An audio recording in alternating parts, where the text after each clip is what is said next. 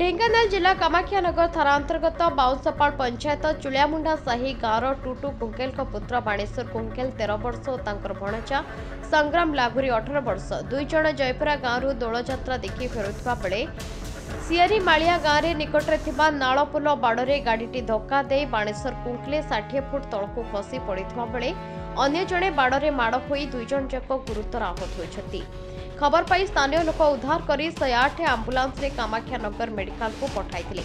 କାମାକ୍ଷାନଗର ମେଡିକାଲରେ ପ୍ରାଥମିକ ଚିକିତ୍ସା ପରେ କଟକ ସ୍ଥାନାନ୍ତରିତ କରାଯାଇଛି। ଖବର ନେବାରେ ଜଣାଯାଇଛି ସେ ଦୁଇ ଜଣ ଜୟପୁରା କାଟାଣୀ ଉଚ୍ଚ ବିଦ୍ୟାଳୟର ଅଷ୍ଟମ ଓ ଦଶମ ଶ୍ରେଣୀର ଛାତ୍ର ଅଟନ୍ତି। ଆଠ ତାରିଖ ଭୋର ଛଅଟାରେ ଯାତ୍ରା ଦେଖି ଫେରୁଥିବା ବେଳେ ରାସ୍ତାରେ ଦୁର୍ଘଟଣାର ସମ୍ମୁଖୀନ ହୋଇଥିଲେ। ଦୁଇ ଜଣଙ୍କର ମୁଣ୍ଡ ଛାତି ଓ ଗୋଡ଼ରେ ପ୍ରଚୁର ଆଘାତ ହୋଇଥିବା ଜଣାଯାଏ। କାମାକ୍ଷାନଗରରୁ ଜ୍ୟୋତିର୍ମୟ ମିଶ୍ରଙ୍କ ରିପୋର୍ଟ ସକାଳ